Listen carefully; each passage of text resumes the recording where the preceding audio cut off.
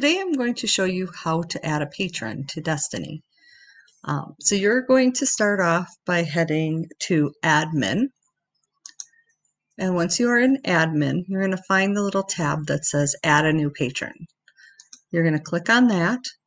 Um, I'm going to name uh, my student uh, first name. I'm going to give them a test.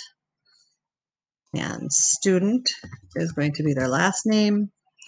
Um, in our district, we have a district ID number, which is um, related to their uh, pictures. So their picture also has that same ID number. So when that number gets put in there and my tech person goes to download the images, there's a match for that. We put in a grad year, which is usually um, the full, you know, if they're 2000 24, we'll say 2024. Our grade level um, is in there by uh, 04 or 03 type of thing.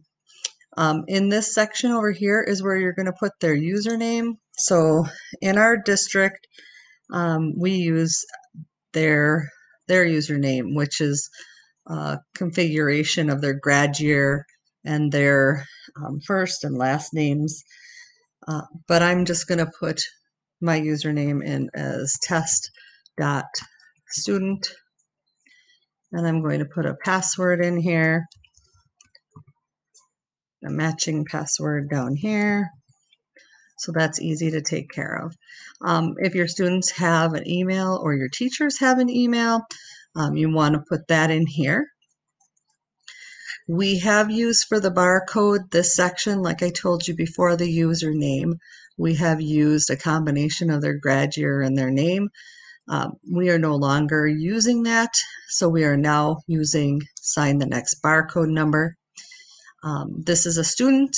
Um, I could have picked that they were a staff, and I do have some students that have where they're not allowed to check out DVDs. We still have DVDs.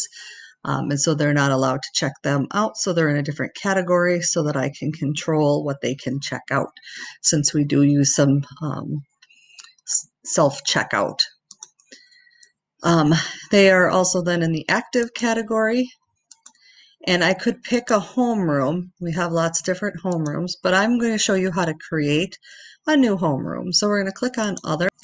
So I realized when I was creating this video that um, I had my school teachers emails up on on here when I was creating this section so that's why this section looks a little different I ended up using a Google slide um, to show you that once you click on that other, that you will type in the homeroom name and then you will click save. Um, and then uh, that will allow you to create that homeroom that you need to add. And then um, after I have that, I can go back into here and now I have a Hayden in there and I can stick that there. Um, we have where our third and fourth grade and some of our younger grades, we have multiple sections. And so we split up a class if we need to. And sometimes a student is in a split class. And so we'll put that teacher's name there in case we need that. Um, that's another setting that can be, I can show later. Um, so then in the end, I'm just going to click save. And I have my patron. It says, oh, this username was a,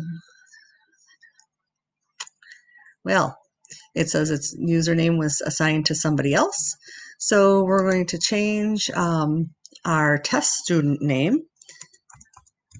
And we are going to just name them um, book student and then I will probably have to change their username because I probably have the same and we will change it to book student so that way you were able you can see that if you use a username or a, a name of a patron twice you may have to come up with a different solution so we'll click a save and now this person is saved.